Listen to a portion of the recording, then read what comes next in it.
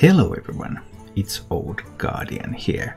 I have really been trying to find some control decks that could be played on a budget. You may have noticed I have built a lot of great budget decks for Scholomance Academy, but they're all pretty aggro. But what about control? I've been trying to do Big Warrior, but that just didn't work out.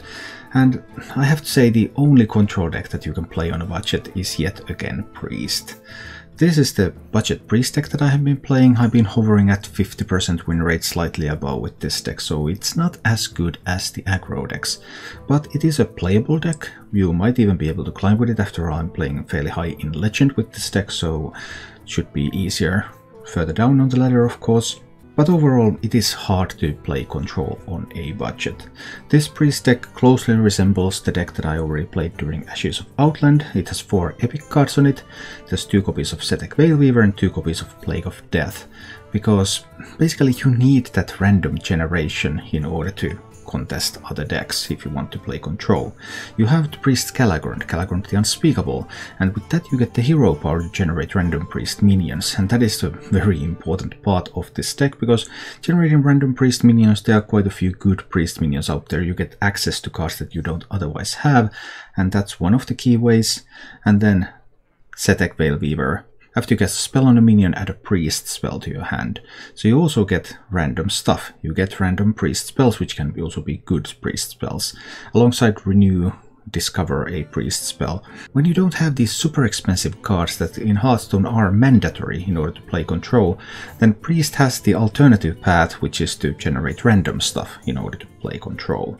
The only new card that has made the cut in this deck is Raise Dead. Sometimes good, on the other hand you don't have those high value cards that you would like to be Raise Dead, so it's a little bit weaker in this one than it is in the full cost priest decks right now, but it's still a playable card, it's still pretty good, it still helps you win some games. So overall, this is the style of deck you need to play if you want to play control on a budget. How does that compare to current meta priest decks? There are basically two types of priest decks in the meta at the moment. There are these sorts of dragon priest decks, which are maybe a little bit more mid-rangey, and then there are these Highlander priest decks, which are maybe a little bit more control. The thing about priest decks and building them is that you just can't build these on a budget. Because even though these have cards that seemingly are affordable, there's Draconic Studies, there's Wave of Apathy, some new cards like that. But the thing is, Wave of Apathy, Draconic Studies, Cobalt Spellkin, this whole package relies on Cabal Acolytes and Cabal Shadow Priests, which are epic cards. So the whole idea of that whole stealing package only comes to life when you have these epic cards. And then you also need some soul mirroring and Murozond and Mind Flayer cards Without those super expensive cards, you just can't put the package together, and then it doesn't help you to put in something like Wave of Apathy into your deck, or Draconic Studies into your deck, or even Cobalt Spellkin into your deck, if you don't have these other cards which are super expensive and that you need in order to synergize with those. The whole Priest package in Scholomance Academy is basically a support package to support expensive cards, and if you don't have those expensive cards, it doesn't help you to run those cheap cards either. Same also goes with the Highlander list. You just have to have these Highlander synergy cards. You have to have Soul Mirror or Kronx. If you don't have a bunch of legendary cards, there's no use building this whole concept, because the whole concept relies on those cards. And again, if you only have the support pieces, but not the payoff pieces, the support pieces alone do nothing. Nonetheless, these might give you some ideas on the direction that you can upgrade the deck into if you happen to land on a few legendaries. In the meanwhile, if you want to play Control on a budget, this approach is the only viable approach, sadly. If you enjoy this content, please subscribe to my YouTube channel, and you can also support the content that I create by joining as a paying member here on YouTube or joining as a subscriber on Twitch where I live stream 6 days a week, so check down below in the description for a link to my Twitch channel. And now, let's go take a look at Budget Priest in action. I might need a forbidden words against some other things. The meta decks are the best decks. Those really fast aggro decks are doing really well right now. You could try something like an Enrage Warrior if you really want to try to counter the aggro decks, but then you will fall prey to something like a Priest. So that is by no means a surefire answer. Yeah, this is the worst, worst thing that can happen to you when you play Hearthstone. Although you have to play priest yourself in order for this to happen. Your head isn't as empty as it looks.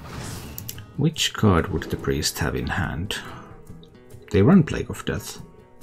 They have the Soul Mirror. They do.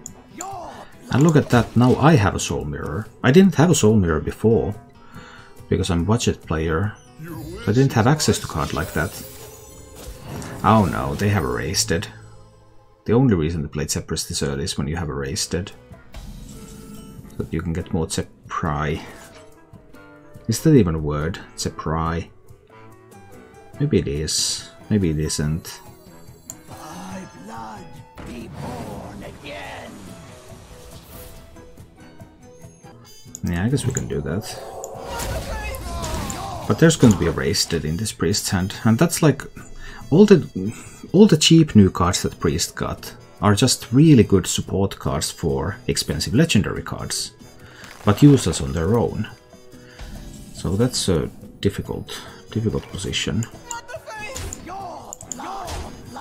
Pow pow pow. And now I expect the board to be cleared.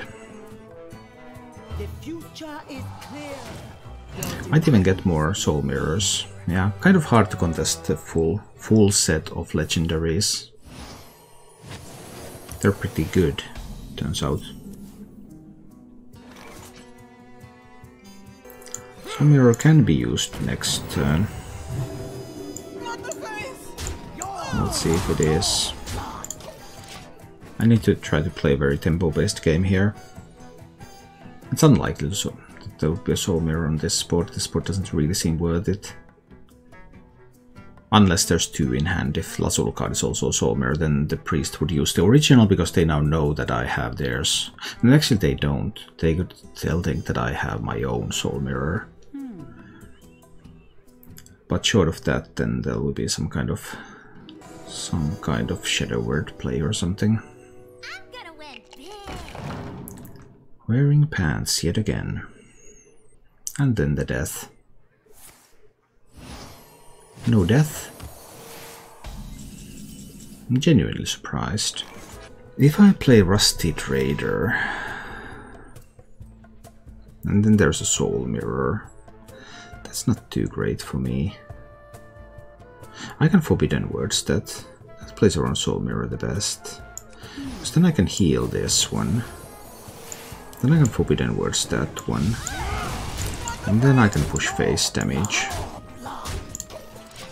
Like this. So now Soul Mirror would leave these two alive. There's obviously also the coin, so there could be a one mana spell after the Soul Mirror. That's a Soul Mirror. Is there a one mana spell?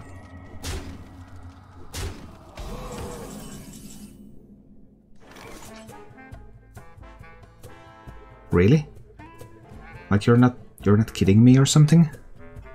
Okay, well that was a weird Soul Mirror play. There could be a Muros. If I play Soul Mirror, there could be a Murozond. To play yet another Soul Mirror. Have any of my minions died? No, I'm guaranteed to raise it these two if I raised it, and get the Galakrond fully invoked. That's still not lethal though. So this one goes there, this one goes there. Then I'll play the raised dead. I'll get the disciples back, I'll play the disciples, I'll play the rusted, this one trades there, rusted trades there, this one pushes 5 in the face. So that's the play. Now I have a fully invoked Galakrond. And I kill all the minions. I kill all the minions and I have a fully invoked Galakrond. Okay. What can we do from here? Now this priest's race that is obviously completely messed up because it's full of full of stuff. But this does not set up for lethal against any sort of AoE spell, so Unbeknownst to him, but beknownst to me, my deck is full of bad cards. Another Soul Mirror. No Galakrond. Does it hit the 5-1? It only kills one minion. Doesn't hit the 5-1. So Illucia cannot be played to steal my Galakrond hit next turn. 10, 11, 12, 13, 14. I'm one off with the Galakrond right now. I suppose this is indeed the best I can do here. And push. Sadly I'm one off. But maybe I can find a solution to that. Maybe. There could be a Kronx, of course. I don't have a Kronx. I'm a little sad about that. I would like to have a Kronx too. Kronx would be a fun card. There is a Kronx. There, also, there needs to be more than just the Kronx, but Kronx is a good start. Then there also needs to be a board clear. Time is running out.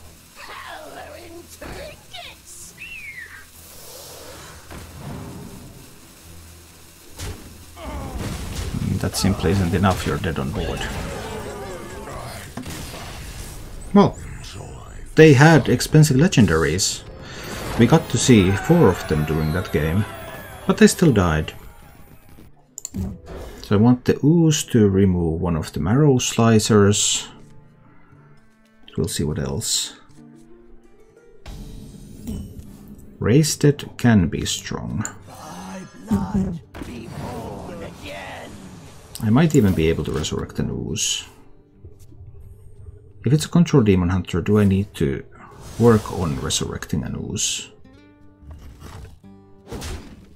Instead of putting grandmummies in the pool. Serious question. And I think I may need to do exactly that. So I'm not playing a minion yet.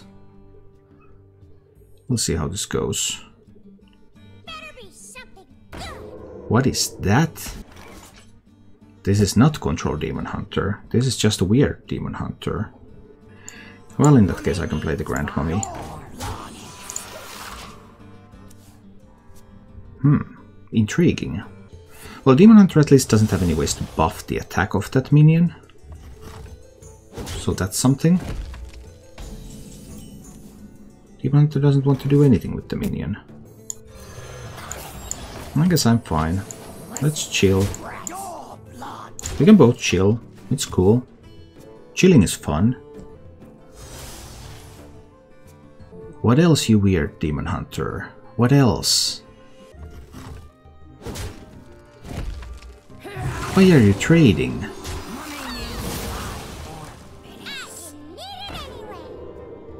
This is weird. I could raise the Disciple now, and the Grand Mummy. Is that okay? I guess it's fine, let's do that.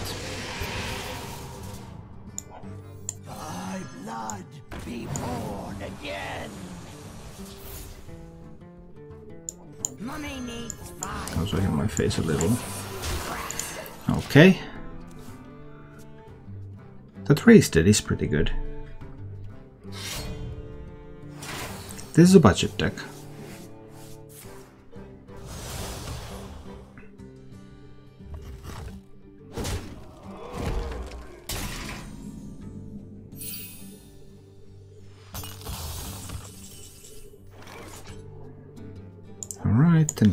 That weapon away. Hit face a little bit with these. Really, really weird Demon Hunter deck. I mean, I guess it could be some kind of control deck. Who knows? Needs five more minutes. I'm gonna win. It is some kind of control deck. Okay. It actually is. It actually is a control demon hunter. Just with a random sneaky delinquent thrown in. So I don't want to become Galakrond yet. Probably do want to use one Breath of the Infinite here. Just incoming damage a little bit.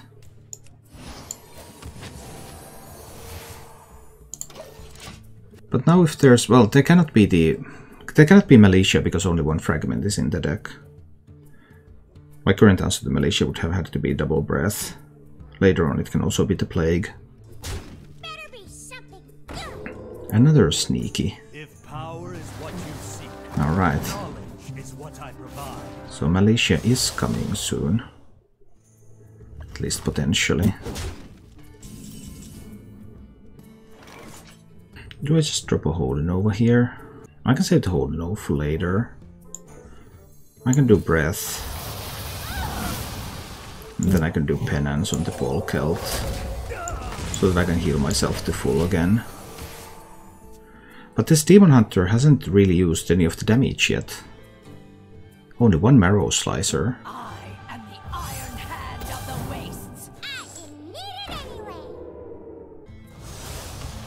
Only one Marrow Slicer has been spent. More Holy Novas. Okay. I kind of hate to double Nova this board. I have to plague the Soulciologist. But Demon Hunter needs to shuffle more fragments before that. Maybe I'll do just one Nova. Maybe one Nova is fine. That means that Maiev gets to hit me. There might be some minions that have 2 health. There could be like Uzis. Or something. So maybe I can afford to take that 4. It's actually 2 because this Nova will at some point heal me for 2 of that.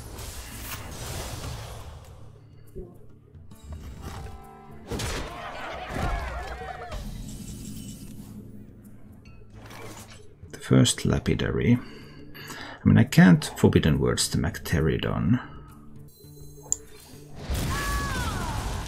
I don't expect the Mac to come right now, though. I think I just need to do it like this, go to 24. But I've seen hardly any of the damage from the Demon Hunter deck yet. Most of it is still coming. So that's a pretty big problem. There's another Lapidary, a Marrow Slicer. All that stuff is still coming. Right, I need Forbidden Words that one, I believe.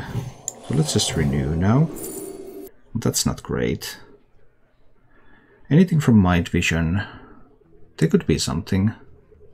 Is it better than discovering a dragon? Eye Beam. Eye Beam is pretty much... There could also be like Blade Dances and stuff. Which don't actually do anything. Two random spells would be nice.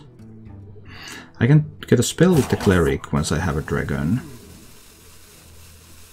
What sort. I want the Evasive Wyrm actually. That can kill a... Yeah. Then I heal my face. And then I Forbidden Words. No. I first played Cleric for Renew. And then I'll Forbidden Words that. Could have also played the Renew this turn, but I ran out of time there a little.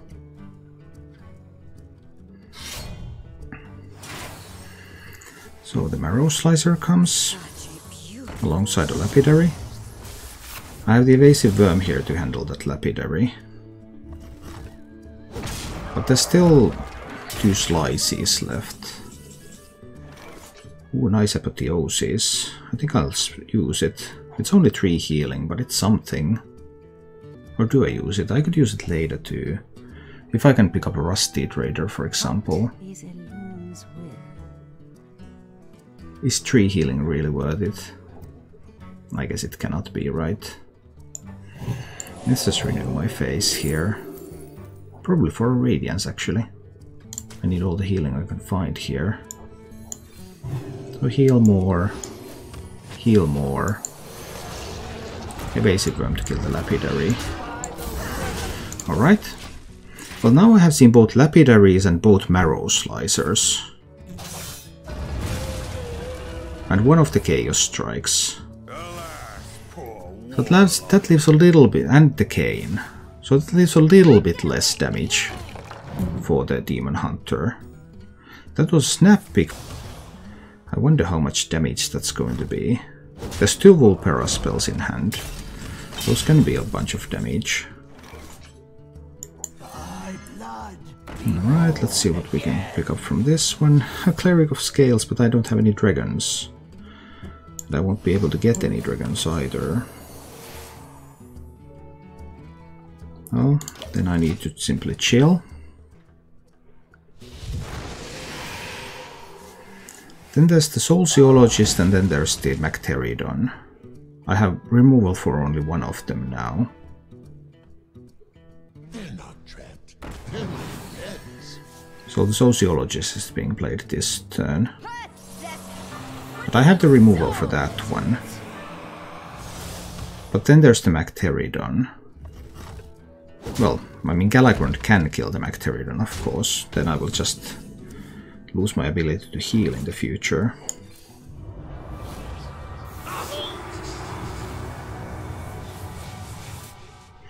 Am I going to get a dragon? Probably not in time. I think I'll just play the cleric.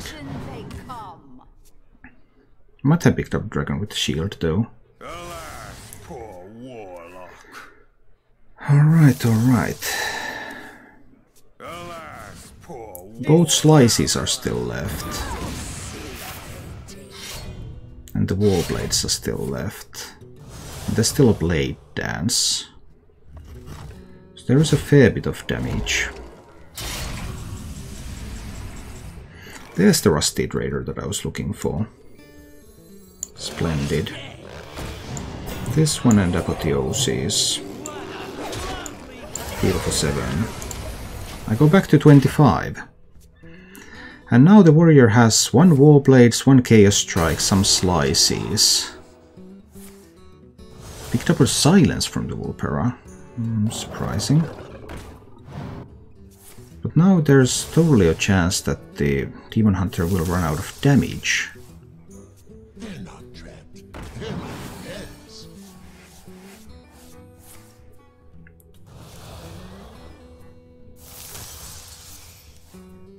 The Demon Hunter's frantically drawing through the deck. So both slices are in hand. There's no random cards in hand. Chaos Strikes have been used. So there's Warblade and two slices, that's 10. 11 plus 6. And taunts can always be killed. And then there's the Magtheridon. That is slightly worrying.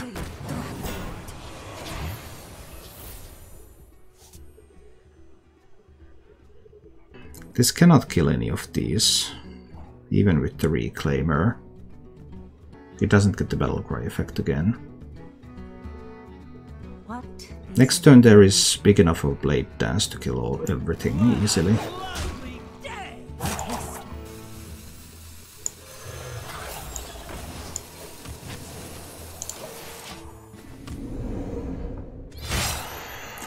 So now it's going to be the War Blades and Slices and Blade Dance.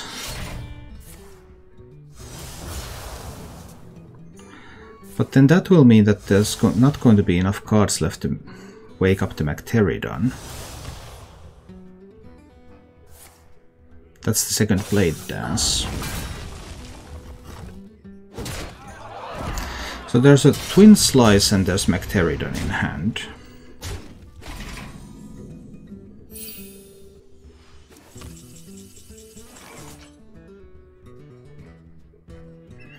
So there will be no way to wake up the Magtheridon. Which means I simply heal and play Galakrond.